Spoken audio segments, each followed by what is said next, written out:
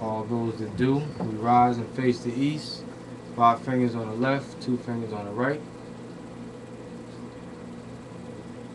Repeat after Sister Farasha Bey. Allah, Allah, the Father of the universe, the Father Father of the universe, of love, Father of love, truth, peace, peace, freedom, freedom, and and justice. justice. Allah is my protector, my protector, my my guide, guide, and my salvation. by night and by day. Through his holy prophet, Ali. Amen. Islam. Now I have the reciting of our divine constitution and bylaws that was prepared for all free national beings on this realm. Islam. This particular one was prepared for Moorish Americans for their drill society. Islam. Act 1. The Grand Sheik and the Chairman of the Moorish Science Temple of America is empowered to make law and enforce laws with the assistance of the Prophet and the Grand Body of the Moorish Science Temple of America. To assist the Grand Sheik is to assist the Grand Sheik in all affairs if he lives according to love, truth, peace, freedom, and justice, and it is known before the members of the Moorish Science Temple of America. Act 2. All meetings are to be open and closed promptly according to the Circle 7 and love, truth, peace, freedom, and justice. Friday is our holy day of rest, because on a Friday the first man was formed in flesh, and on a Friday the first man departed out of flesh and ascended into his Father God Allah. For that cause, Friday is the holy day for all Muslims all over the world. Act 3. Love, truth, peace, freedom, and justice must be proclaimed and practiced by all members of the Moorish Science Temple of America. No member is to put in danger or accuse falsely his brother or sister on any occasion at all. They may harm his brother or sister, because Allah is love. Act 4. All members must preserve these holy and divine laws, and all members must obey the laws of the government, because by being a Moorish American, you are a part and parcel of the government and must live the life accordingly. Act 5. This organization of the Moorish Science Temple of America is not to cause any confusion or to overthrow the laws and constitution of the government, but to obey hereby. Act 6. With us, all members must proclaim their nationality, and we're teaching our people their nationality and their divine creed, that they may know that they are a part and parcel of the said government, and know that they are not Negroes, colored folks, black people, or Ethiopians, because these names were given to slaves by slaveholders in 1779 and lasted until 1865 during the time of slavery. But this is a new era time now, and all men now must proclaim their free national name to be recognized by the government in which they live and the nations of the earth. This is the reason why Allah, the great God of the universe, ordained Noble Drew Ali, the prophet, to redeem his people from their sinful ways.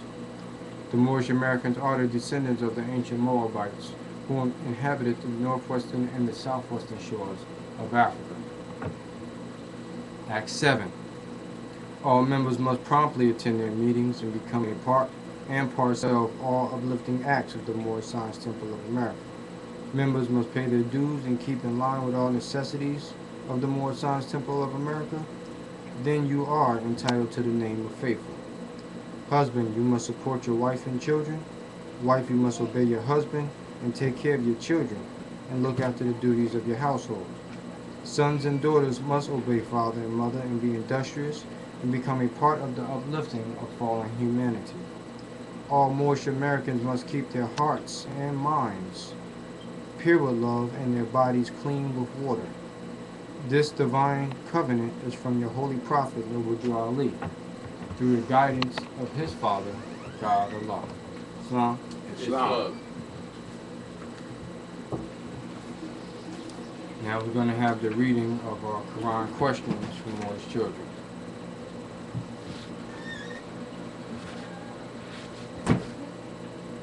Who made you? Allah. Allah. Well, who is Allah? Allah, the Father of the universe.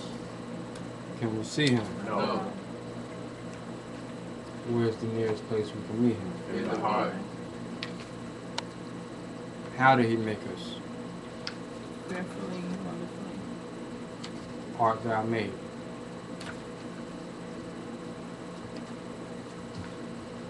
Islam. Islam. Who was the founder of the Moorish Science Temple of America? Noble What year was he born? Nineteen. Eighteen eighty-six. I can't get out of here. Where? North Nope. North Carolina.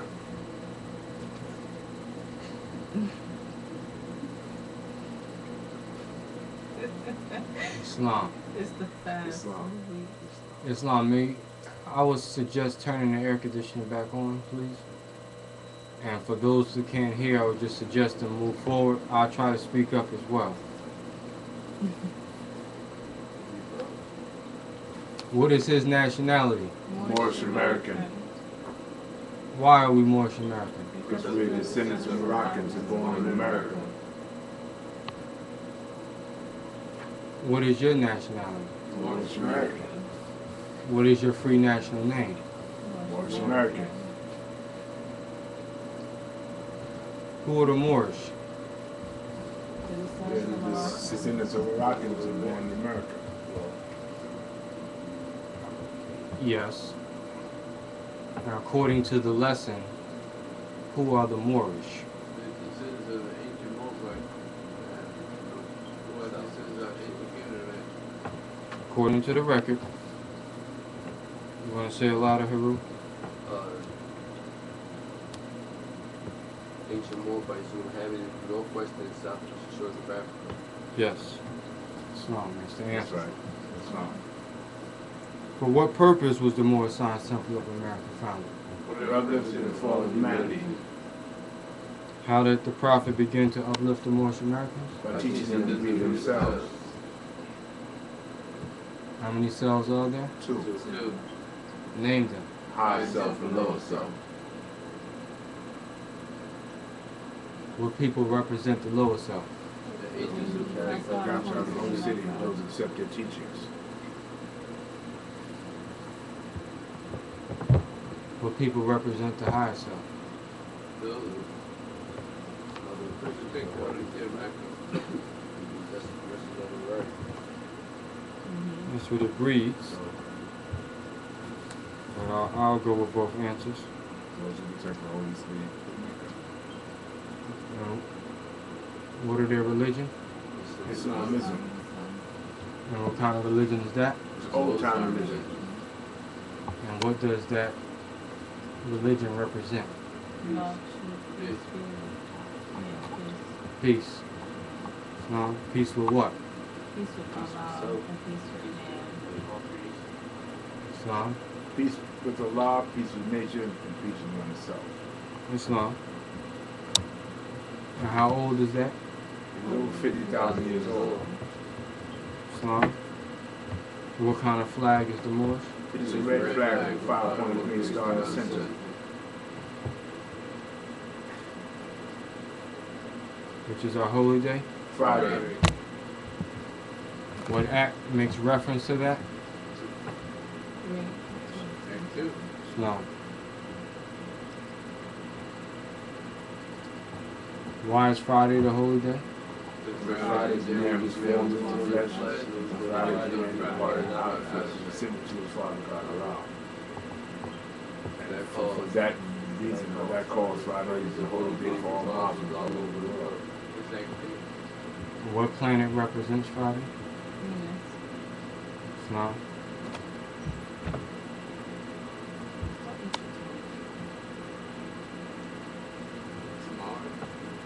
Well, the answer was already given. Venus. No, you gotta tell them because it's at Mars.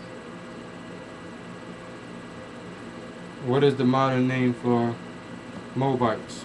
Moroccans. What is the where is the Moroccan Empire? Northwest of Amexem. What is an empire? The world depends An empire is a complete uh, dominion, geographical areas, or a multitude of areas. All right. Sorry, Ru. Uh, I was just going to say empire is a uh, land owned by a king. Say it again. owned by a king's land. Empire, owned many groups of lands. All right. Islam, we'll go with that too. Anyone else?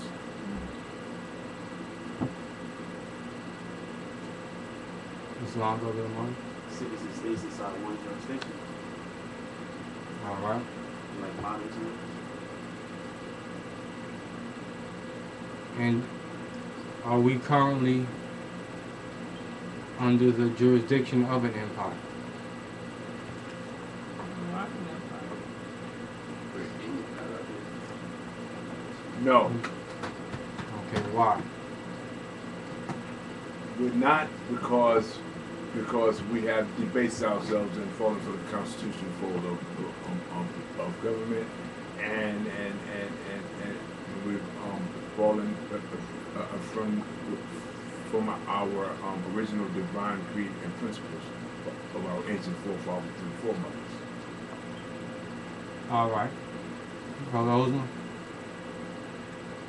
Because, uh, um, jurisdictions have been coun- individual countries on their own. Okay. And what what is the correct saying of that according to the record?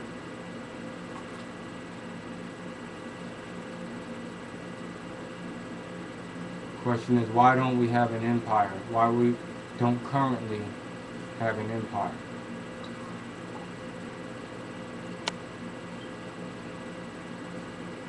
According to the record. Yes.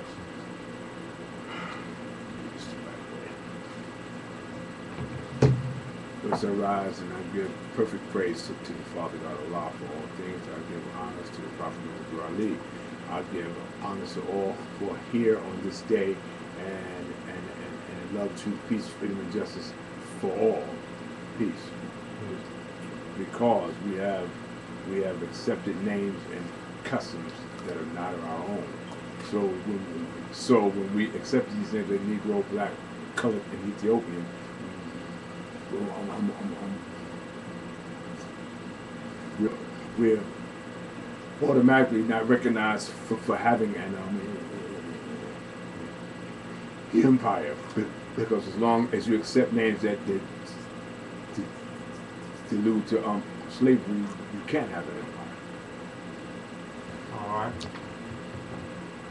Does, anyone have anything else to add to that according to the record?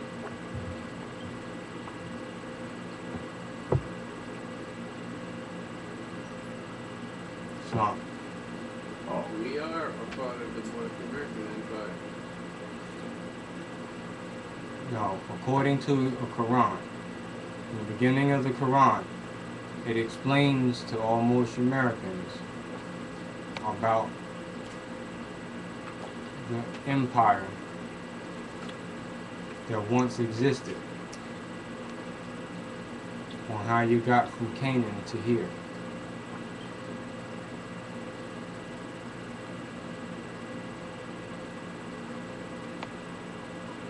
So wasn't the Moabites driven out the land?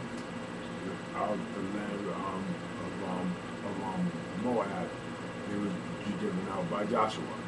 All right. So when they were driven out of the land by Joshua, what what occurred? They received permission from the pharaohs of Egypt to settle in in that portion of Egypt, and in later years they formed themselves kingdoms. These kingdoms are called this day Morocco, Algiers, Tunis, and Tripoli, etc. It's not. So kingdom is subordinate to empire. Yes. So this is what occurred with the Moroccan Empire, and why it's not referred to as the Moroccan Empire anymore. And then from that time when they formed themselves kingdoms, through colonization, it further debased and went down to colonies, countries, etc. states Right. to what we have now. So that's why I asked those line of questions because it goes down into jurisdictions and dominions, as we call them today. They don't really use the word dominion too much, but No. we know them as states and countries and continents, which are your modern day terminology. For the older terminology, which was kingdoms and empires. So,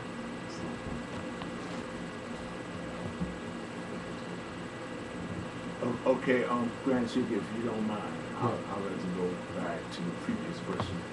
What was an empire? alright. It's an extensive group of states or countries under a single supreme authority. For formal, um, formally, especially an emperor or empress. Islam. Thank you. Well,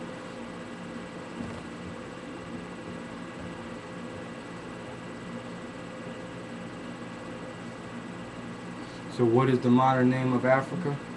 Come back to I'm pardon self. What is the modern name of Amexem? Africa. Africa. What is the title given to our ruler in Morocco? Sultan. Where do we get the name Jesus?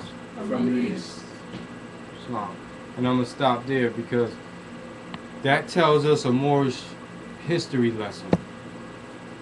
Going into the geography, the history, the law, that is all embraced under that one umbrella. That's why I say you can never separate history and law, geography, it all runs together. When you say nationality, most people say, what's that, a religion you're talking about, Moorish American? and you're saying it you, you're speaking of the subject matter of history law That's right. religion is also added into that because religion is law order Government well. principles. but so what you're saying is in a, in a whole nutshell you're embracing the concept of all of these different categories Yes. So this particular passage is very important for us to understand because if we're saying our nationality is Moorish American and that is based on being descendants, that means come down from That's right.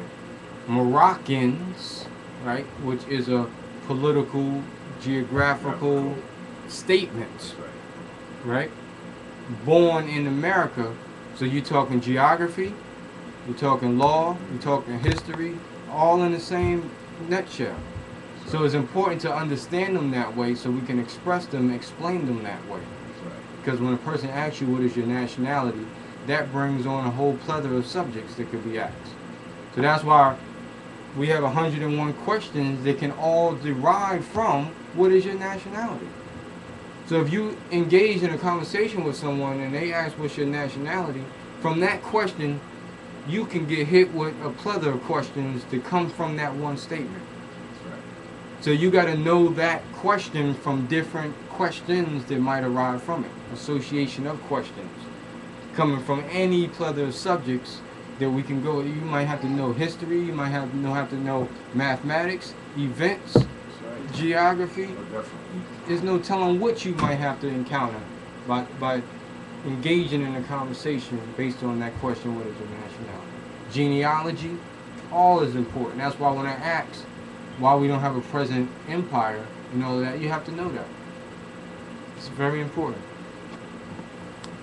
because you can't say Moorish American without explaining the Moroccan Empire. When you talk of Amexem, you're talking about Moroccan Empire. That's right. So this explains Africa on how that was colonized. This explains why you have countries in Africa. This is all based on the Moroccan Empire. And then if you're teaching someone, number one question they might ask, well, why do I have to claim Moroccan descent? Why I gotta say I'm a Moor? What if I'm something else? What if I was from another part of Africa that was not Morocco? And you'll have a hard time trying to explain to them that they're still a Moor if you don't understand the Moroccan Empire. Because the em- Moroccan Empire Empire embraced multiple countries in Africa. So regardless of what country you came from, they still was under the jurisdiction and dominion of the Moroccan Empire and under the rulership of, or i.e., under the jurisdiction of, which still makes them Moorish or Moroccan. So Moroccan is not just subject to Morocco. No. But once again, when you talk in law, you got to be able to explain that. If if not, then it neutralizes your claim as being Moorish American. And that's why some people have a hard time understanding that they are Moorish American or Moroccan because they are thinking from that point of view that they could have came from somewhere else. So Moroccan might not be the, the right bloodline for them. And that's because they haven't encountered someone who to explain it properly to them. And that's why they run with that, that concept. And then you have people talking about they're going to take a blood test to find out what particular area that they were from. And then they allow the same people who enslaved them to give them a blood test to tell them their pedigree. Exactly. And once again, from the lack of knowledge or the insufficiency of knowledge, you can't convince someone that they're not Negro, black, and colored because you didn't have the proper knowledge to do so. That's why it's important to study your lessons.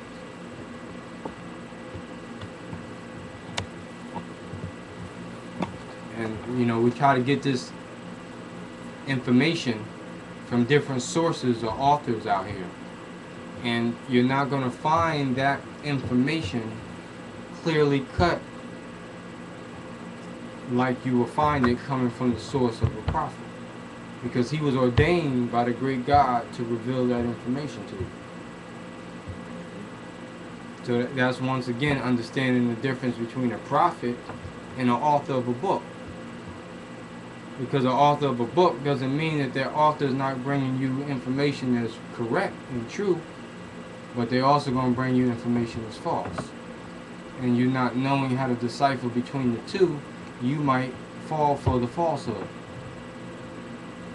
So to to really to be able to stand on Moorish he- heritage or just history, period, you got to study the Prophet Noble Drew Ali's literature because that's the most accurate source of the law, the history, the genealogy, and the geography that we have to offer.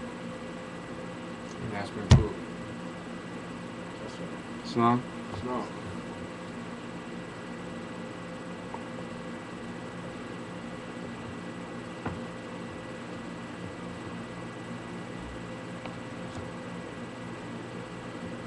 So what does Jesus mean?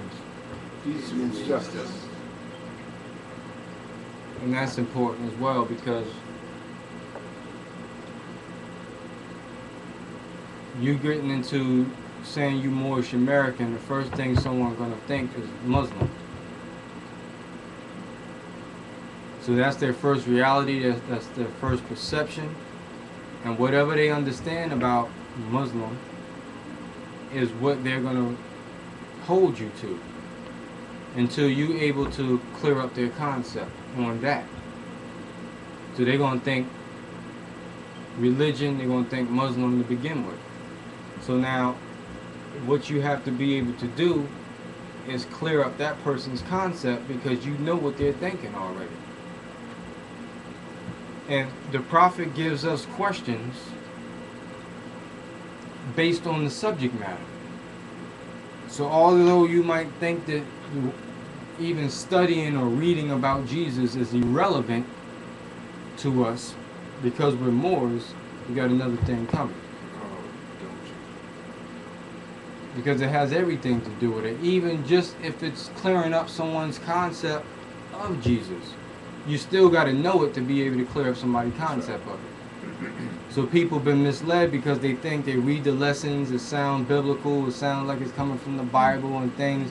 Because that's what they're reading or that's how they're interpreting it, they think that they're being introduced to, to some form of Christianity or some mixture between that and Islam. So because of the lack of understanding, they're misled and disinterested in the matter, and they're looking for another school of thought to deal with. And once again, that's our problem. We're charged with correcting the concepts of people in general. We're charged with that. You can't allow someone to clear up their own concept. You already know that we all came from a, uh, a state of being ignorant. So there's a portion of us that's still ignorant no matter where we're coming from. When you hear the ignorance, you have an obligation to try to clear it up. Try to bring knowledge to the person. Try to bring wisdom and understanding to the matter. That's our job as Moorish Americans. That's why it says once we get our nationality, our job is to teach others about their nationality. That, that's protocol with this. So don't just study it for yourself. And don't just love it for yourself, but also love it for the good it may be for others. That's right. Islam, Brother Osman? Islam. Yes. What's the difference between a Muslim and a Muslim? Islam, brother. Let me stay on my subject matter, please. Uh, Uh, I'm trying to, you the people of Americans don't think we're uh. Yes, but I, I explained that numerous amount of times. I have explained that subject matter numerous amount of times. So right now I want to deal with a how it's presented to you. The general people population looks at Moorish or Moors as being Muslim. That's your number one encounter. So that's what I want to address. It's your number one encounter. And then for people who also think that they are or, or refer to themselves as Muslims, they might be disinterested in what you're saying because your literature has Jesus in it. And then explaining that, we must understand the prophecies, the genealogies of the prophecies. And once again, if you are considered a Muslim and that's what you profess, then you still should have an understanding of the genealogy of Jesus and Muhammad. right. Because you can't call yourself a Muslim and and and profess or honor Muhammad without honoring Jesus. Even if that's what you profess, even from the Quran perspective, you got to give honor to Jesus if you give ho- honor to Muhammad. So to just discredit Jesus as is irrelevant, that means you have the lack of understanding from whatever point of view anyone is coming from. From the biblical, we, we must know the biblical teachings of Jesus. We must know the Quranic teachings of Jesus. So that you can be able to speak to people who are un, under both umbrellas for their own clarity and understanding. This is why the nationality card, one of the reasons why the nationality card tells us that we honor all true and divine prophets. So no at no time do we speak against true and divine prophets. And that also means that we must have a fundamental understanding of all true and divine prophets.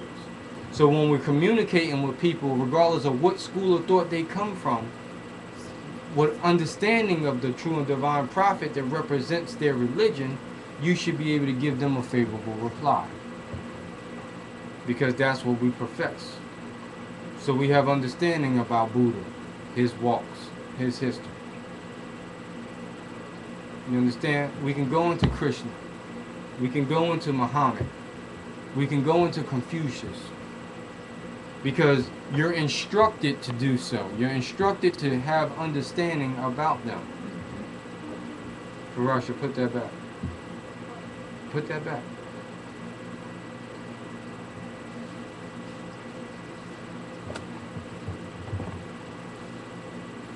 Islam.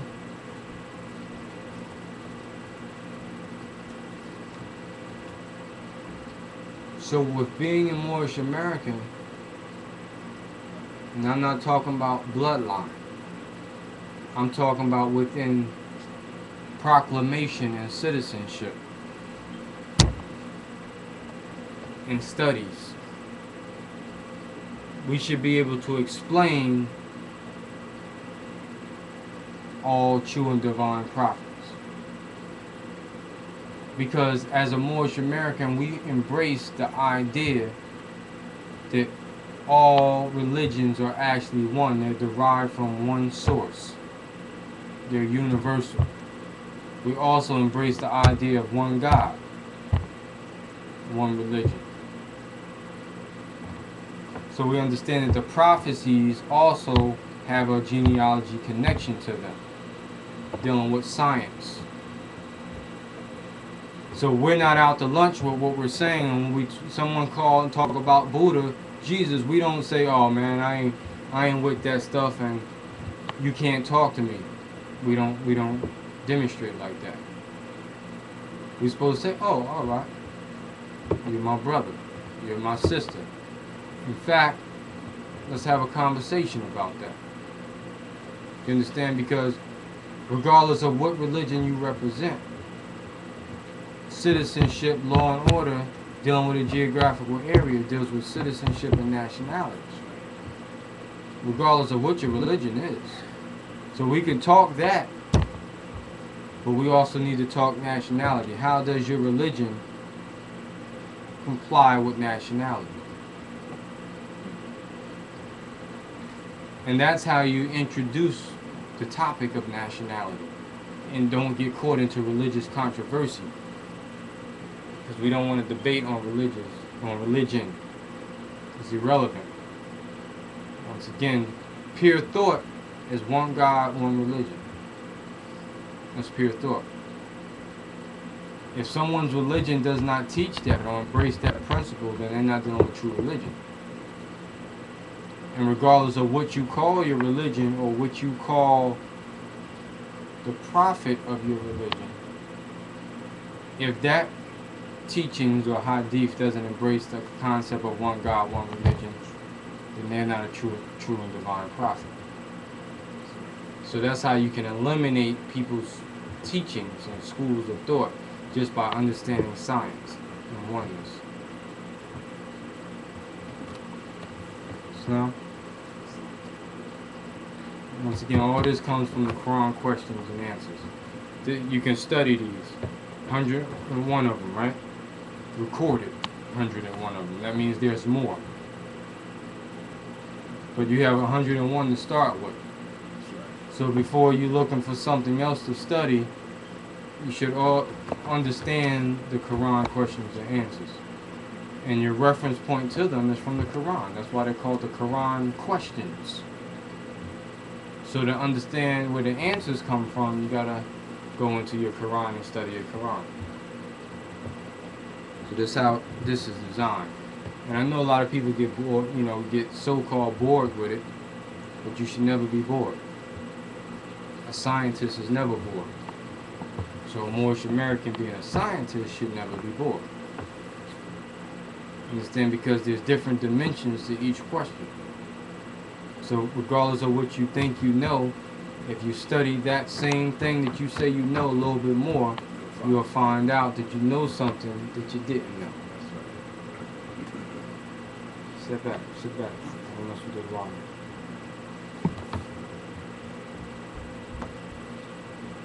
So I'm gonna go back to question number 31. It says, "Where is the mo- the mo- what is the modern name for Moabites?" Rocket. Moroccan.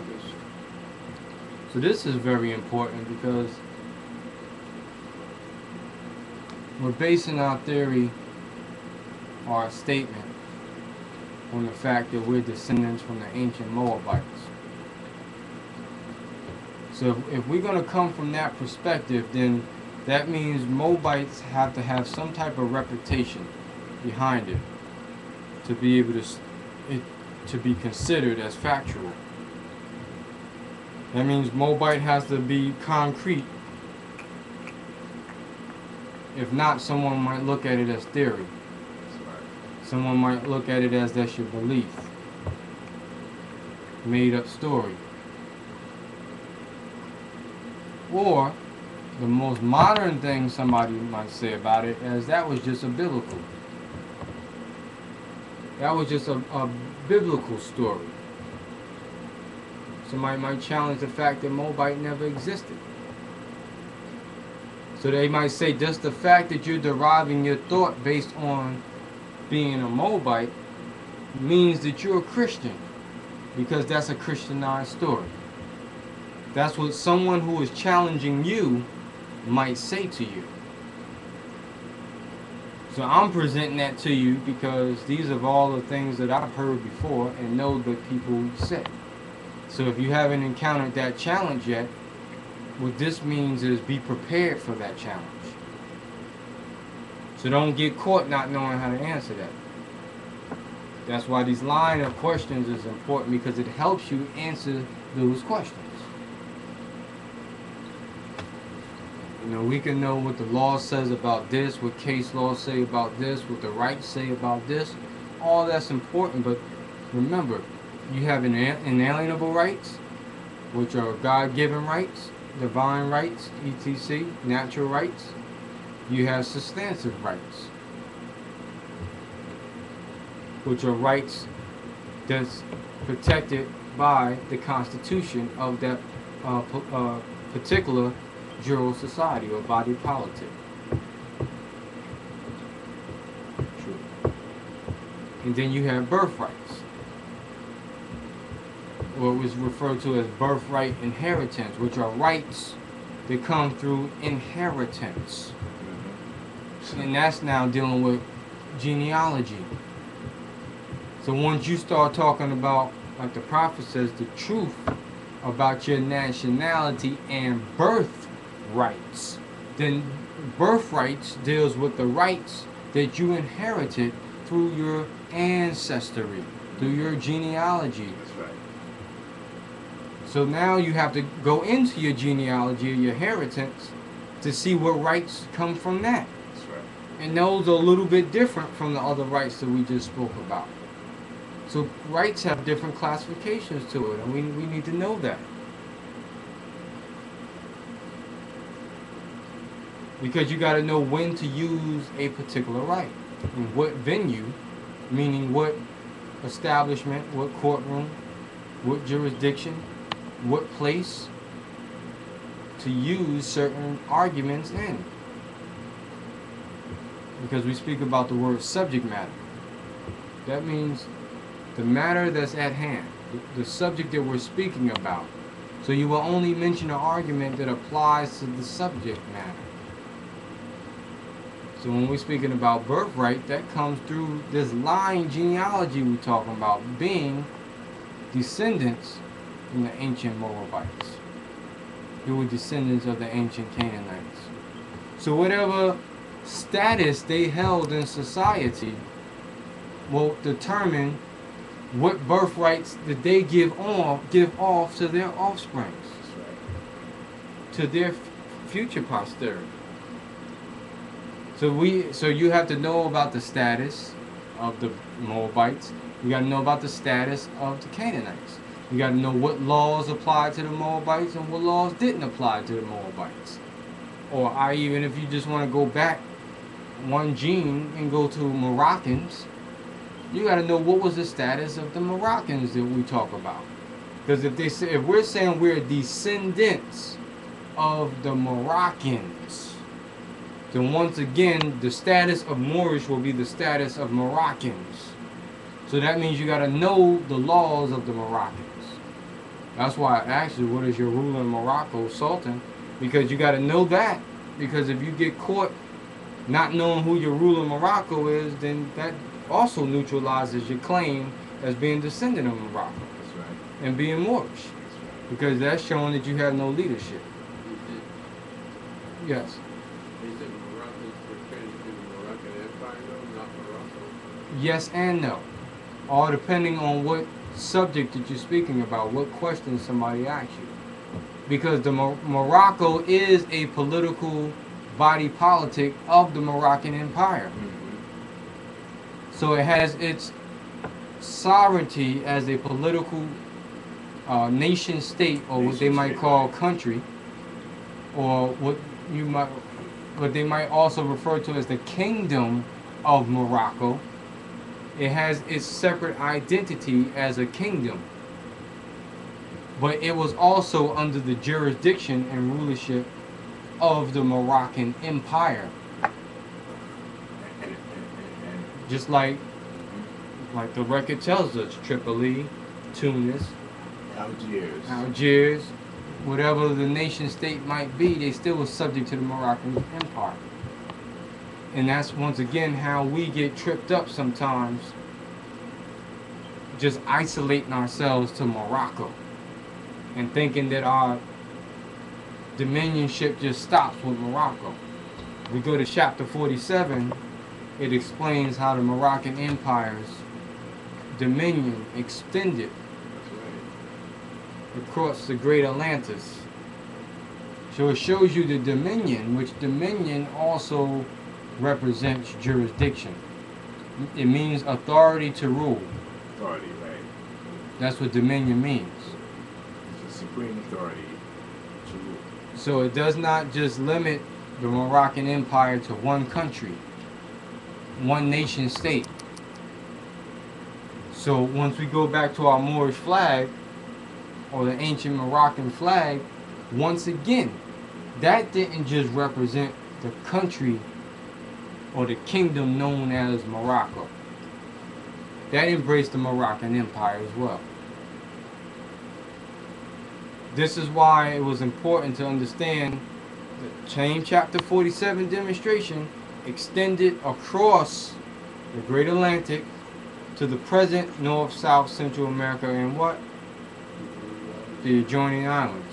What's so important about that, or what proof do we have to explain that? Because somebody might say, "Oh man, that's that's a theory." Once again, that's that Drew Ali guy making stuff up. Somebody might try to say that to you. So now you got to be able to prove it outside of Drew Ali. This is where you become studious at. Because now sometimes you got to go outside of Drew Ali to, to state a claim. So it'll be looked at as a religious theory demonstration. So now that's when you have to, for proof on that, okay, well, prove to me, if somebody say to you, a European, and somebody say to me, to you, well, prove that the jurisdiction of the Moroccan Empire extends to America.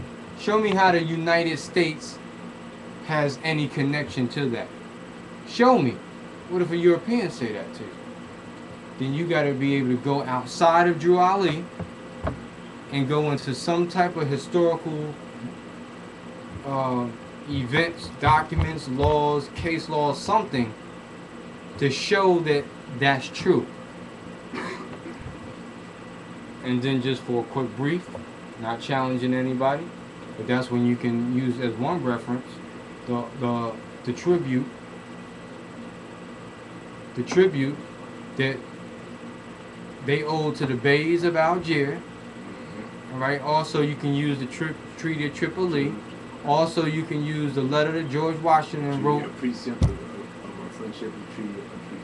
Exactly. But the letter that George Washington wrote to the emperor is important because the emperor. Once again, we're talking about the ruler of an em- empire is known as an emp- emperor or empress. Empress. if it's a female, right? That's where that terminology comes from. So when you say emperor of Morocco, in order for anyone to be an emperor or empress, that means that there must be an empire. You can't be an emperor without having an empire. That's right. You understand that? So if George Washington is writing to His Majesty, the Emperor of Morocco, then he's acknowledging that there is a Moroccan empire that he is subject to. You understand how you got to quickly be able to demonstrate that? Yes, sir. Islam Grand Sheik. Yes, it's not. Um, it is um, it is like enlightening that you mentioned about the empire. Um, before before the actual Moabites was even given permission. Um, um, the prophet explains it here in chapter 47. The inhabitants of Africa are the descendants of the ancient Canaanites and the land and the land of Canaan. Art 2 says, Old man Cush and his family are the first inhabitants of um, a- a- Africa who came from the land of Canaan. His father Ham and his family were the second. So that means during the time it was an empire, these are the two that was that was operating under the the um, entire empire, for the Moorish Empire. Mhm.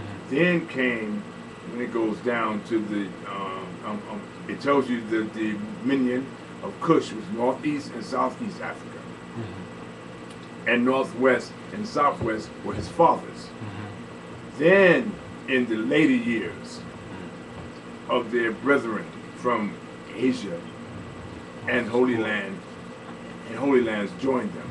The Moabites from the land of Moab received their permission from the pharaohs of Egypt to settle and inhabit northwest Africa. And they were the founders and are the true possessors of the present Moroccan empires. Mhm. Empires. Yes. Islam. So once again, you know, including but not limited to chapter 47, helps you tremendously. And especially from understanding the geography, the history, and the law. Because that explains the law too. Yes. Even though it might sound like a good history lesson, that explains your law.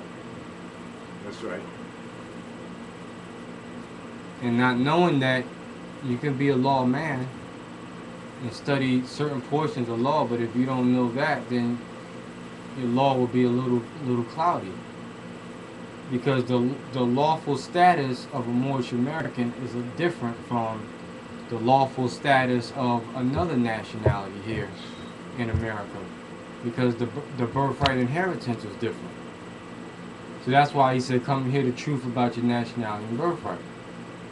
You know, because your argument is going to be different from another nationality's argument, and that's the problem. We've been not just arguing wrong, but we've been being tried wrong. We've been being charged wrong, all because the birthright inheritance was not considered in the hearing, and it was waived. That's right. It was it wasn't challenged, and it was waived. And we acquiescing to the fact that they referred to us as Negro, Black, and Colored. We were treated and tried as slaves That's right. under the slave laws and the slave codes. Right. All because we didn't know nothing about not just our nationality, because you can know about your nationality or know what your nationality is. But if you don't know the birthright inheritance behind that and the laws behind that, Right. then it doesn't matter. You just be saying my nationality is Moorish American and it still has no application in law because you don't know the law that goes with it. And that's what you see some of our brothers and sisters suffering from today That's right. that they think just because they know what their nationality is or their free national name is, they think that that's the only thing that they got to satisfy in law, and it's not. Until they're tried unjustly, and then they see that it didn't make no make no difference on what they all, all assumed for all these years, then they realize the importance of knowing the birthright that comes with it. Yes, Islam. Islam. This is getting very interesting. It says their dominion and habitation extend from northeast and southwest Africa across the great Atlantis, even unto the present north, south, and central uh, uh, America, and also Mexico and the Atlantis Islands before the great earthquake which caused the great Atlantic Ocean Mhm. that's a perfect segue into letting them know exactly how far your your um how how far your heritage and and and your empire extends. Mm. That's that there cannot be disputed. No, you Can't, can't. be And, disputed and even because if if they check their history and they Yes. go back, they'll have to well, that's right. They may mumble and you know what they do, they shuffle around, but it's true. Yes, and also to for them to give honor and acknowledgement to the Bible as the greatest story ever told. The Bible also backs up chapter 47 and the whole demonstration about the flood. That's right. So they they can't say that the flood is a theory mm-hmm. If they proclaim or, or recognize Christianity or the That's right. Bible. That's right. We got to bear witness the to that. Biblios Heliotech, that's his actual name. It's not called the Bible. And these are natural disasters we're talking about. That's right. that, that took place that caused this to be. So once again, that's recorded. You know, so that will back you up from that perspective. Yes, yes, Islam. Mm-hmm. You know, like you said, Grand you have to know this. yes, you have to know this. You You, have to know it. if you, and this is what the prophet meant that if you're not going to be active, meaning that not just do a couple of things, but if you're not going to understand and interpret this the right way, then you might as well take off your card and button because it's not it's not going to have any application with it. No. You know, and this is why it's so important that you know I keep stressing this. Others stress it. The prophets stress it. That this is not something that you just embark on just for you know some information. This is something that you got to really follow You have to live it. and be able to extract the information, interpret it the way he he put it out there. That's right. No different from. It's a great example. We know that school, like the Board of Education, a modern day school system from K through 12, and even college, you know, is really based on training. That's it. It is really small percentage of it is based on education. It's only education to train you to be a particular way. It's a programming to mold one to to to serve a certain idea, I should say. Yes. But even within that, if you go to school, they make sure that if you're there, the information that they're training you, the education that they're saying they give you, they're gonna make sure that you know that. They're gonna test you on it. They're gonna quiz you on it. They're gonna make it paramount that you know what you're being told or being taught. So they want to make sure when you leave there, you can subscribe to that idea. Even in the falsehood that they got with it. They're going to make sure that everyone's studious.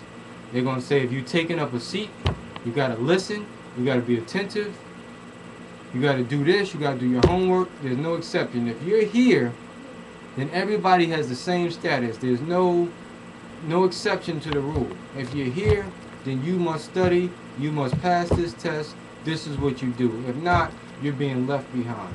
Then they got other programs for you to try to get you up to speed. But the idea is to make sure everybody understands and is able to interpret what we're teaching them. That's the that's the programming of school system.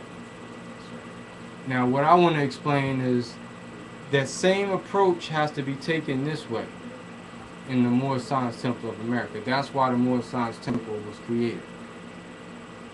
Because it's also trying to subscribe and program individuals to a certain idea.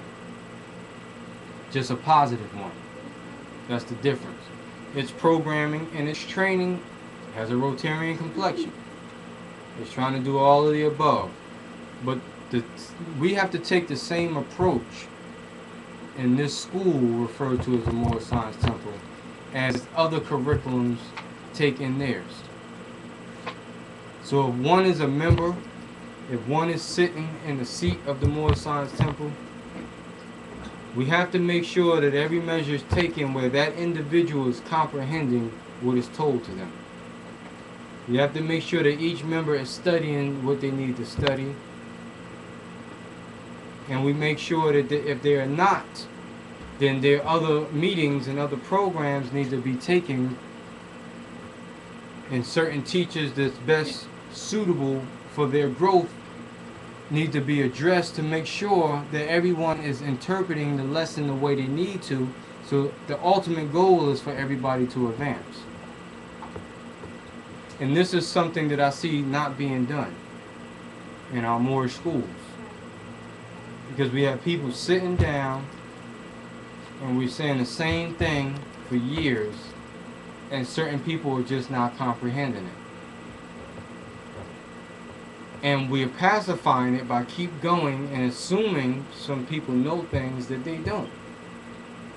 Not just in the Moorish Science Temple, but whatever Moorish curriculum that they're a part of.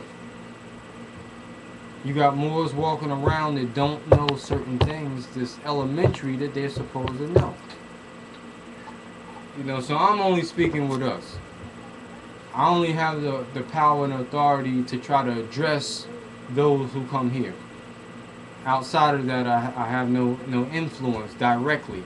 Might have some, but not not directly. So here, I can control the forum, the, the teaching methods, and the way information is dispensed here. So I have to account for my own action here. So meaning that anyone sitting here, we got to make sure that everybody understands. That's why we ask questions. But now, if someone's not answering, then that shows the insufficiency of the information. So now it takes a collective input now from all of us to work on that. We say, well, such and such not getting it. We need to implement another class for this, another program for this. Uh, like even the church might have Bible study. You know, we can have Quran study. Just like we have law classes and stuff like that. You gotta have other curriculums to make sure that people getting it. Because for this period, the two hours that I'm demonstrating, I, I expect what I'm saying, because I'm, I'm, I'm staying within a certain level, referred to as first heaven. So what I do expect is everyone to be able to master first heaven. The only exceptions to that will be people who are new, who don't know about their name and nationality, who is just coming in here to listen, to hear about it. But for those that's here, that we all should automatically know the same answer. When a question is asked, the same answer should be given. So we shouldn't have to go around the room on one question. Because once the first answer, the question is answered, that should be the one answer that everybody will have. That's why I always say come from the record. Meaning that what have you been instructed to say about that? So if someone asks you, why are you Moorish American? Although you might can say a bunch of things to explain it, you're instructed to say because I'm a descendant of Moroccan and I'm born in America. So everybody should already say the same way. Same thing with the 101 questions and answers. We're asked questions and people start answering different ways. That means that they're not studying their lessons. You know, so they don't have no time to be bored.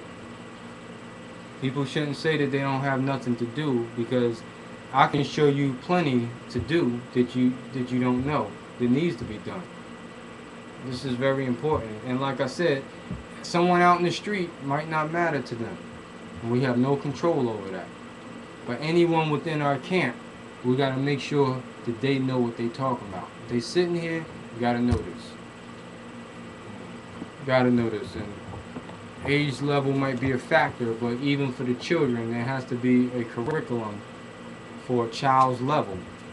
There's certain things that they have to know. Just like, for example, first question, who made you? Everybody pretty much over the age of three should know that. You know, anybody who is able to say it, if they can talk, they should be able to say that. So any Moorish American child over the age of three should know that. And even the next one, they should know the first seven just at that age level. You follow what I'm saying? So there's no excuse for an adult that's a Moorish American to not know the 101. Because even at a child at the age of three, they should know the first seven. And if they're not, then that means that they're not getting the right instructions. You know, take the time and teach this to the little ones. That's your instructions. Teach these lessons to your little ones. You, must know them yourself. You must study them yourself. So if I go to question number 96, you know, everybody should automatically know that. There shouldn't be no debate. And once you know them, then your job is to go and investigate why is that.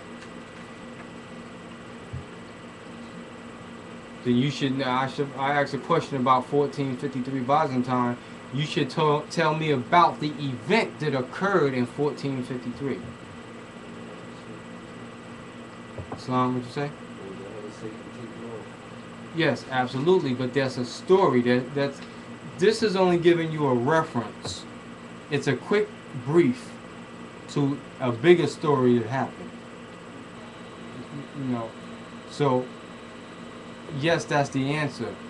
But there's a story about about, about the Byzantine Empire in 1453 that every Moor, once again, not every Moor because a baby might not know this, but after a while, you need to go back and study that. So, however long it takes you to, under, to go and, like, say for example, once you memorize the first 101 questions and answers, directly after that, you should go back to number one and find out why did Allah make you, or how did He make you.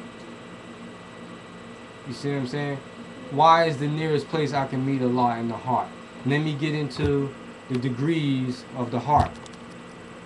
You understand? Go into it further and find out well what's the significance of Allah meeting you at the heart? Where do they meet? How do they meet? What is that saying? That's what you do after you memorize them. You understand what I'm saying?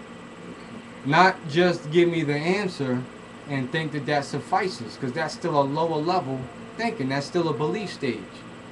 We're, we're no different from believers if that's the only thing we can say. It's not. Um, you asked the question about the Byzantine era, that was during the time of the Crescent and Cross. Muslims and Muslims, Muslims and the Christians. Yeah. That was when that was when the head of Satan, the head of Satan is symbolic to uh, to the rules of the lower self being uh, uh, um, being finally subjected.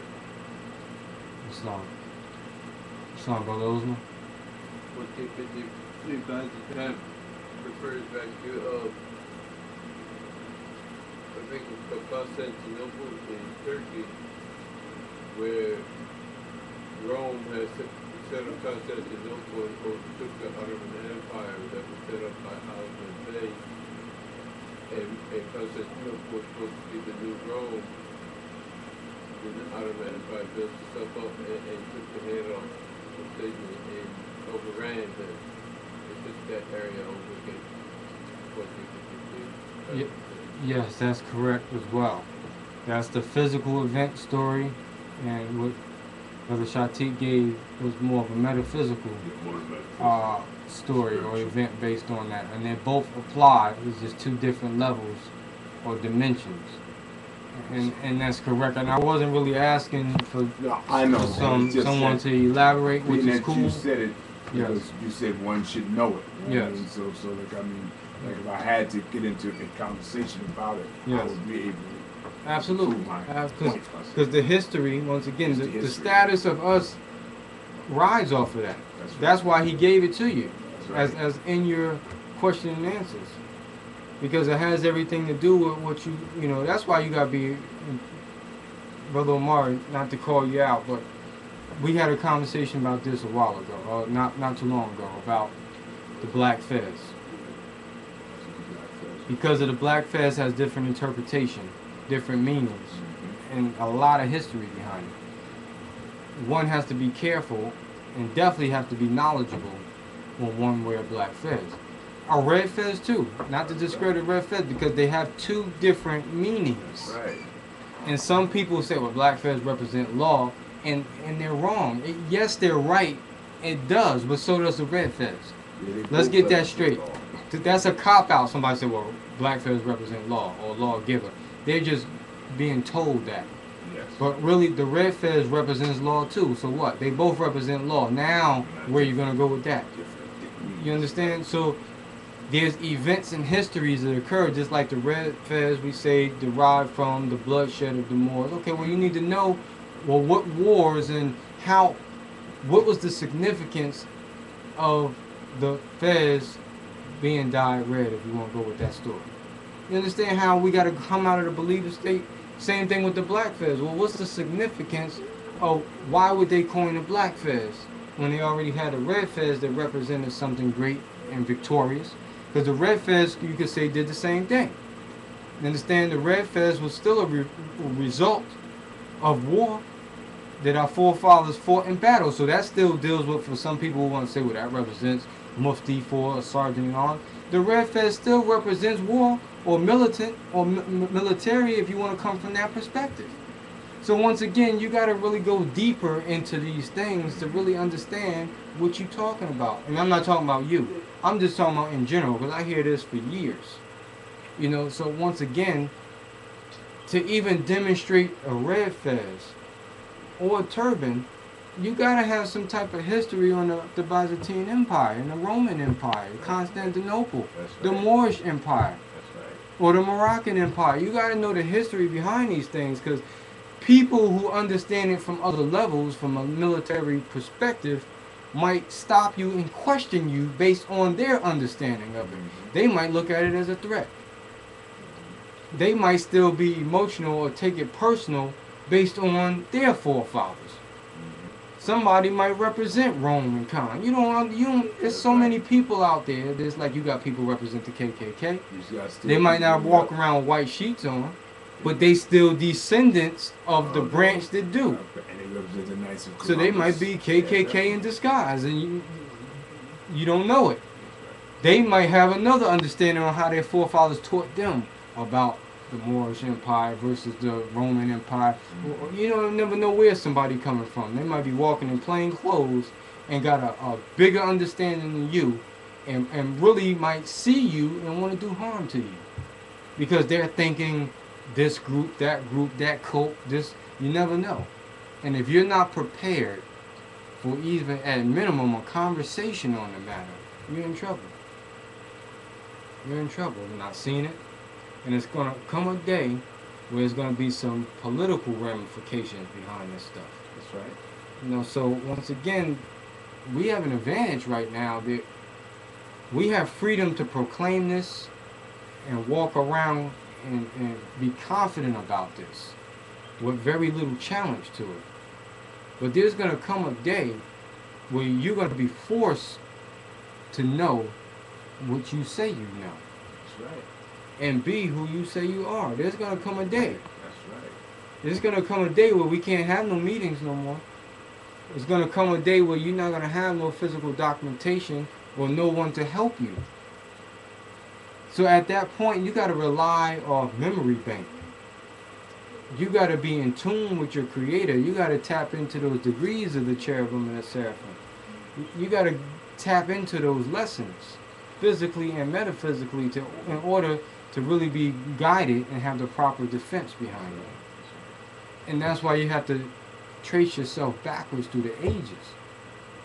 For example, I mean, this is a higher level outside of first heaven, but let me just go there real quick. Meaning that you are who your forefathers are, right? We say that, right? Just, I'm just asking uh-huh. collectively, right? Yes. yes. All right, so now someone can easily be the advocate and say, well, look, you know, you did some bad things during the Moroccan Empire. You killed 107 people. You know, and somebody might try to tell you who you were back then. You have no idea who you were, you hit. Because they might remember who they were and remember you from a war that happened 2,000 years ago. Mm-hmm. That's a higher level, but it's relevant, meaning that it's factual and it could exist. You understand? Because there's people out there who have became who they were before and really try are here to accomplish something that they couldn't finish in that day of time. So everybody has a different mission. There's different spirits here. There's there's reoccurring for different missions. So you don't know what someone else's agenda is. So they don't tell you about this, but you hear all this stuff on the news about people who just walk into a building and start spraying and doing all of this. Law governs all events. Remember this. right. Nothing happens by chance.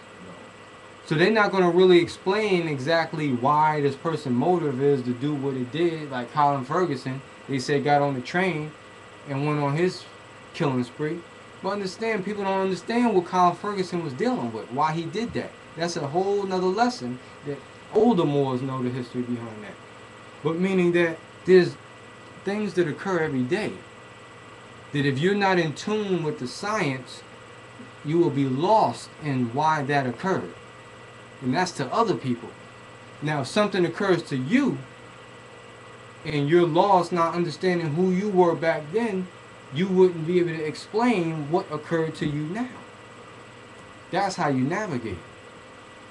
So you got to be able to do what the prophet says trace yourself backwards through the ages, and thus you know. Now, it's not that easy. Don't get me wrong. I'm not sitting up here saying that you just go into your lesson, you'll be able to do it like that. And I'm not saying anybody who claims to be in the Adept chamber or anything else can do that either. What I'm saying is what the prophet instructed us to do, regardless of who's done it or if anybody ever done it. I'm saying that's what the lessons say. So I know if the lesson sets a certain standard, it got to be done. Mm-hmm. If the prophet said it, it could be done. That's right. That's how Moorish Americans should should think. That's right. If he said it, it could be done. Better believe it. So shall it be. And that's what John's reality was when you go into the lessons. When he found out the the, the, the secrets of, of washing, of the purity in life, he said, Why need I wait? If wash if if that's what washing does, then why need I wait? Why can't I go wash at once? Because he knew the possibilities, the capacity of what he was being taught because the faith and the trust he had in his teachers. Same thing with you. If you really subscribe and believe in Prophet Noble Ali and what he represent, then you should look at everything he taught you as a, a capacity that could be done. That's why it says man needs a pattern for his life because he loves to what? Follow and not to lead. So it says Jesus lived to show the possibilities of man.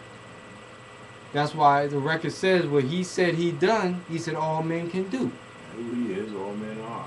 Exactly. Inspired to be. So that is the possibility of you. Not just the possibility of him 2,000 years ago, that's the possibility of you. Right So when you read the lessons, whatever is telling you that Jesus accomplished, forget the mystical story about him and whether he never lived or not. If you understand science, you know that it still could be done. Outside of what he said he was or who he said he was, because you get deeper into that, you'll understand that there were many people that, that went by the name of Jesus. Yes. And there, there's people that, and, and also that Jesus went by other names. That's right. And then you understand that that's just the language and the terminology 2,000 years ago. But you go into other time frames, then that he was called by other names. So once again, that's once again just going into deeper into what we already have. If we don't know that, that means we're just still stuck on that level. We need to study so that we can go outside that level and then be able to say the same thing Right. being engaged in some in a conversation when someone when someone somebody want to talk Egyptology, commission science, whatever they call it, you should recognize your Quran as being the same thing. They're just talking another language because it's another time frame, but it's the same story. But now, if you don't know about their story, then they're gonna feel like that they got jurisdiction over you because they're gonna feel like you got a more that they got a more ancient source than you do then they're not going to feel a necessity to go into your lessons because they think their lessons supersede yours only because you didn't know their lessons. And that's what occurs every day. Every day. Islam? Islam.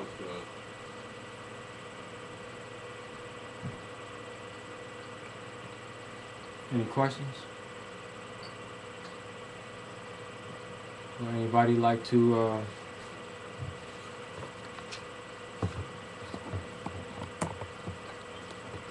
give any suggestions pertaining to the subject matter of the education of our people and our children? Because the Prophet told us send our children to Sunday school. Mm-hmm. And that's for a reason. You know, some of us might not have our children within our household to do that. Some of us might not have children at all. Some of us might be children. But whatever the case may be, the necessity of the children being in Sunday school is necessary so that they can get the same teachings that I'm giving. So that they can eventually know this and be able to defend themselves. If not, you're always going to have to defend them. They can be an adult, and I, I know the other, for those of us who might have children that's adults already, you can relate to what I'm about to say. Children are not in Sunday school, don't really study this, but have got into some type of trouble. And what they do is call the parents to defend them. And they're adults. Because they don't know enough to defend themselves. So they gotta call mother. They gotta call father. Mm-hmm. And now they need assistance from the Moorish perspective to aid them in something that they got themselves involved in that That's they right. shouldn't have got themselves involved in. That's right. And that comes from them not studying and not understanding the lessons. Once again, that's not just their fault. We, as parents, still got to take uh, certain responsibility for that.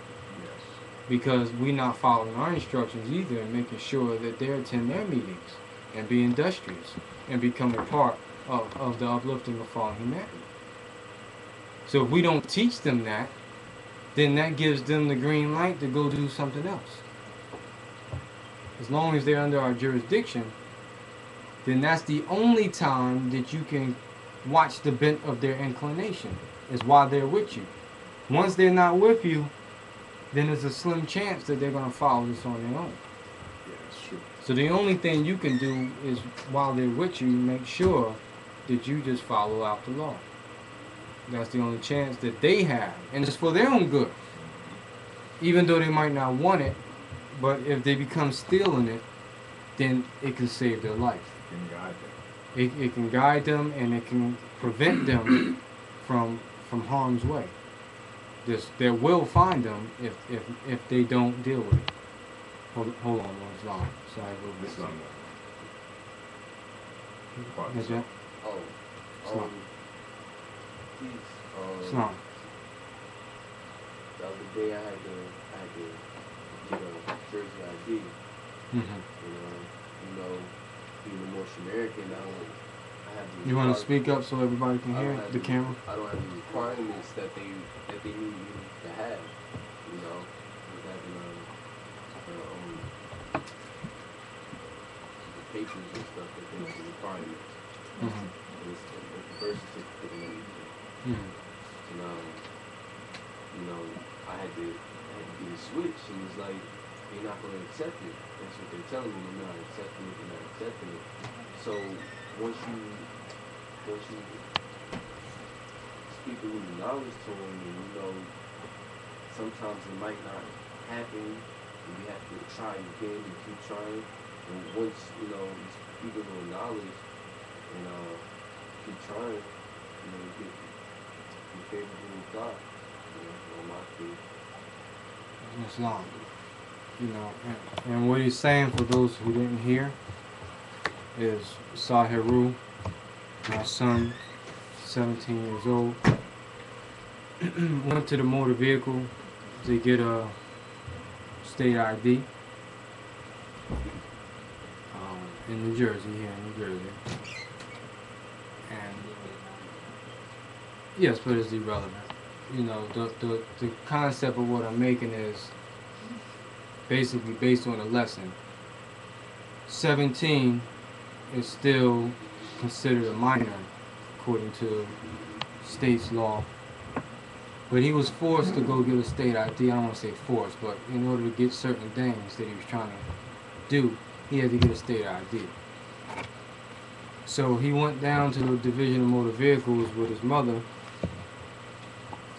you know, and he was forced to exercise this, what we're talking about, even though as a child he never really had to argue it because when he did go to school, you know, we would go down there and do certain things and get them and enrolled in school, whatever had to be done, usually the parents will have to do it for them. And this is what I'm saying.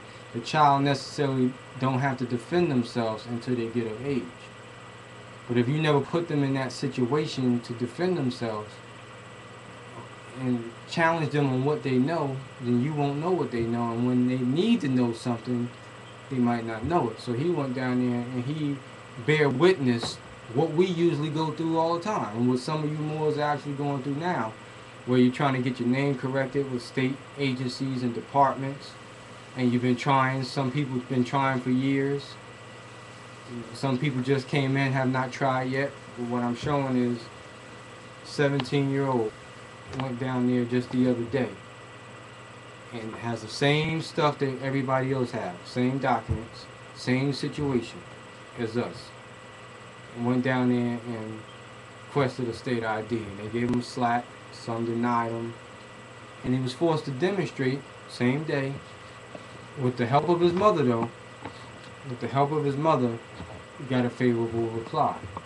And the state joined and gave him state ID with his Moorish app- appellation on it. You know, so I'm showing that for two different things to show the possibility of a child, where all of our children should be enrolled in school under their Moorish names or whatever the situation may be.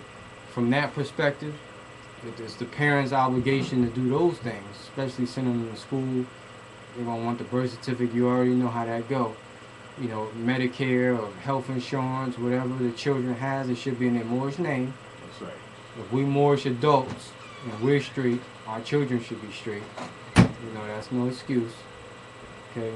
And then also show the possibilities of if a 17 year old can do it, then an adult can do it. You know, so once again, there's all type of possibilities within this. He did it with the help of his mother. So if a, a woman can do it, another woman can do it. If a woman can do it, another man can do it. You understand what I'm saying? Where there's no excuses that uh, uh, us Moors come up with, where they can't be done. Uh, there's, there's no excuses. You know, even though there might be, oh yeah, they didn't want to do it, or yeah, this obstacle is here, this obstacle. Yeah, we know about obstacles, but the obstacles are there for a reason. Just like man was formed in flesh for a reason, he had obstacles with that that we're going through every day. You know what I'm saying? Here he must tarry many ages till his lessons are all learned. Understand? So we got obstacles and, and temptations, manifold. But what the le- lessons say, we must overcome every one of them. So, in your path to regaining your nationality and your loss of state, you're going to have obstacles there. Don't look at this as it's supposed to everything, like, people look at birthright as somebody owed them something. That just because they got conscious of their name and nationality, now everybody in the world owes them something and they don't have any challenge that goes along with it. If they come here, you're supposed to give them this. They walk into the temple, you're supposed to just give them a nationality card. You're supposed to give them a document. You're supposed to do this. They go to the state agency, the state just supposed to just change their name without no hesitation. People come into this with the wrong idea. The lessons tell you if you just read, without a foe, a soldier never knows his strength. That's right. And what? Thought must be developed by the exercising of strength. So you expecting something without a challenge? That means you ain't reading. Or that means you're ignoring the lessons and you, you got some type of benefit. That's to say I don't want to be held accountable to nothing. Just give me what I want. That's that's what you're saying. So if you've been in this a year, two years, three years, and you still walking around with slave tags and stuff adjoined to your name, we don't want to hear it. You're not applying the lesson, and you're not with us from the perspective on what the goal is. With us, all members must proclaim their nationality. So once again, there's no excuses for a child. If you five years old there's certain things you're supposed to know at five years old. Let's just keep it real. We gotta raise that standard. There's certain things that they, they shouldn't know at that point, and we don't hold them to that. But at five years old, there's certain things they're supposed to know. and whatever we feel that is, you know, we make we should make sure that every five year old in our community know what they're supposed to know at five years old. If they're ten years old, then it, it, it enhances. Whatever we say that they should know at ten, we should make sure if they ten, they're supposed to know this. If they don't, then we need to challenge them and make sure that they do, and take certain things from them until they learn what they're supposed to know at ten years old. If you 30 years old, if you 40 years old, if you 50 years old, then we should hold everybody accountable to what they should know at that age or that level or that degree or rank that they may hold. Islam? Islam. Um, but I was about uh, to say, in conjunction with what you're saying, is by these lessons you can set your house in order Mm-hmm. and your children learn um, to love instead of hate. And I was going to add with what Adu was talking about, Mhm. even with me.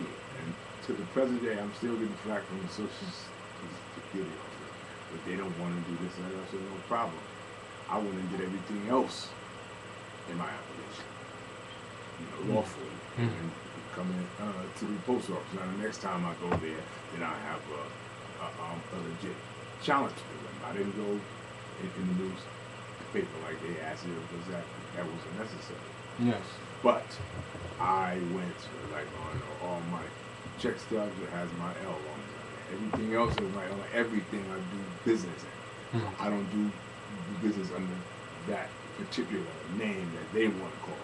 I mean, no, that's not who I am. Yes. Islam. It, it has been amended, not changed. Correct. Amended means that means I, I, I, I've I've taken it to uh, um, another uh, degree. Mhm. Absolutely. Islam. And, and also, in reference to that, by us being active, like say if there's certain things we haven't got done yet, and certain things we don't know, just remember this. No man lives unto himself. That's right. So those who stay away from home, meaning that those who don't come to the temples, don't go to your meetings, don't communicate with Moors too much. Of course, you got to understand there's going to be a lot of things you don't know because certain things you don't even get from just reading the lessons or just studying on your own. Certain information you get just from being hands on That's right. just being around Moors who are active and is doing things. And if you're not communicating with Moors like that, then that means you're not getting challenged. If you don't have conversations on the phone with other Moors, then you, there's no one to challenge you. If you're just coming to a meeting and listen to the meeting for two hours and no one's challenging you personally, then you're never being challenged. That's not good for your growth. You know, so you need to be in curriculums and, and areas where people are going to sharpen your sword. They're going to test you. That's right. You know, you got different tests come from your own, your own people, come from not your own people, Europeans, state government agencies. You got tests that needs to come from many different levels. That's right. And if you're not dealing with any of them, then you're never being tested. So you're just saying you know something, but really, how do you know you know it if you haven't been challenged? You don't even know that you know it. You think you know, but you really don't. You really don't know that until you get put in that situation where you got a challenge. Gotta do it. Somebody in front of you telling you you not Moorish American, not just somebody in the street.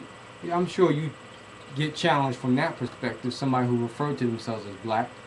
You always got to argue with somebody about being black. But that's a lower level demonstration. you know. What I mean? If you know who you are, you know you Moorish American, you believe chapter 47 and all of that, and all of this is factual to you, take it to where somebody really going to challenge you with it. That's why the prophet says, go to City Hall. Question them on that. That's right. Ask the officials in your government. Mhm. That's your next level of challenge once you think you know. When you can, when you get past your people in your neighborhood, your family members, once you can get past them, and then you want to start testing this on a higher level, go to the officials in your government. Start talking to them. Don't mean do a crime and challenge them. No, Just mean you can intellectually challenge them. that's right. Just like Brother Amari talking to the uh, the state trooper in the barber shop. He wasn't doing a crime and got challenged. See, some people only force it. Some people do wrong, right? And when they do wrong, they're forced to demonstrate at that point because they're trying to get a lesser charge. Don't. That's not the way to go about it either. But you could be out being peaceful, minding your own business, living a life of love, truth, peace, freedom, and justice. You still got an obligation to other forms of life, other people. This brother right. stopped the state trooper because he heard the state trooper saying something that was incorrect. So he challenged the state trooper on his understanding of the law. You know, he wasn't doing nothing wrong. He could have said, Well, that's a cop. I ain't trying to trouble myself with that. He ain't talking to me, so I'm gonna keep rolling. He could have took that approach, but he didn't. The cop could have it could have turned out different. The cop might have said, Who this guy wanna challenge me? You know what? Let me check you out. What's your name? You know what? I'm locking you up. The cop could have took that approach just out, out of ego or being mad, but he didn't because of the approach that he came at. You know, a lot of Moors don't get, they're not that favorable in their conversations with people. I've seen them. Seen people didn't know how to talk to a law enforcement officer, and and I've seen people get hurt behind it, hurt, physically hurt, because they just didn't know how to talk. Not that what they were saying was wrong, just they, they didn't know how to talk. And that can get you in a lot of trouble. That's very hard to get get out of. Not knowing how to talk. You can be wrong, and if you know how to talk, sometimes right. you can get out of it. You can get out of it. That's right. You know, that's why the prophet says speak in, in an intelligent tone. Intelligent. But to Mhm. talk intelligent, you have to have intelligence. Intelligence. Right. Exactly. That's why that's our job. We have to teach intelligence. Intelligence. So here we build character. And when we build character. Mhm. that helps you be intelligent, where you can speak intelligent. Establish intelligence to speak intelligent. That's right. Islam? It, it, it, it's, um, Islam. I want to Yes. share this little incident. There was an incident when I was wrong. I left the temple um, that particular Sunday. I got home, but when I got up to the train, I had to go to the bathroom really, really bad. I couldn't hold it, but but it was dark, so I, couldn't make it around the corner. So I, I said, um, "Astaghfirullah," and I did my thing on the side of the wall. I saw the DTs coming up, but I couldn't stop. So they stopped and they got up. I said, "Yes, I know I'm wrong, sirs, but I couldn't hold it no more. I, I, I like apologize." So, but there was one of them. He was being nasty on purpose because he saw me wearing a black fez. So he said, "What's that on your head?" I, I, I answered him. but He said, "I don't care. Stand up." And he put the cuffs on me. So he says, "Well, what's what's in your briefcase?" I says, "Well, um, I said, um, I said my combination is um, universal, sir. You should know it." So he said, "Well, I need you to open it." I said, "Well, sir, I can't open it with, with my hands behind my back. Well, I'm not gonna take the cuffs off." So anyway, I whispered it um, to his his other officer. He went and opened it, opened it up, and he saw the um, he saw the certificate and stuff like that. And um, he says, "Okay." And he closed it, and he took the cuffs off me. Normally, when they put the cuffs on you, you going they don't cuff you unless they take it. Took the cuffs off me right there in the street. And he said, listen, all right, well, next time, you know, try to make it home, even if you're doing it yourself a little bit. Yes, sir. Thank you, officer. Now, what if I had came out the opposite? I would be in the precinct. I would have been locked up. I would have been humiliated. Mm-hmm. But I knew I was wrong. But I acknowledged my wrongness from the time they got out of the car. I just couldn't turn around. So I said, listen, I, I was talking to them the whole time, but he wanted to play. He wanted to see was I going to lose my cool or get upset, but I didn't because I knew what I was doing. That's knowing how to speak. Mm-hmm. If they look for controversy, this is what they do. Mm-hmm. One time they stopped me and Sheik Amin, the same cop who Sheik Amin checked him one night.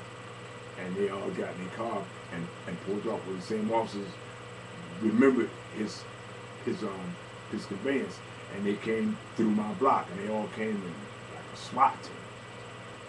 And I had on slippers at the time. I was sitting inside, um, he was speaking with him. So I got out of the car, you know, to go around. I got, got in my face, this close. The ass out my face. So I just looked at him and walked away. You know, so I mean, so it's things that you have to know not to react to. You know, Absolutely. Pat I did this one thing, he just made a movement. Mhm. They'd pounce on him. No, absolutely. Absolutely. Yes. All right, Islam. Uh, That's going to conclude today's lesson. In harmony and spirit with the proclamations to be read, trust that you read them on your own. And um, giving honors to all the Moors and the Muslims for participating in Ramadan. yes. You know, ridding their body from toxins and evil thoughts and low self temptations and cravings and sugar. Islam. etc. You know, giving honors to you for your effort. Hoping that it will create a more peaceful environment, starting with the household and with self. Islam. Islam. Um, Islam. So we rise and give praise by reciting our Moorish American prayer. We'll ask Sheikh Nika to close out. Islam. Islam. May Allah line our hearts and minds. Back Back to to forefathers. Divine breeding principles. This we ask. In thy holy name. And seven seven little little people. heat. Amen. Amen. Islam. Islam. Meeting is now closed. brothers and sisters with peace and love. Islam.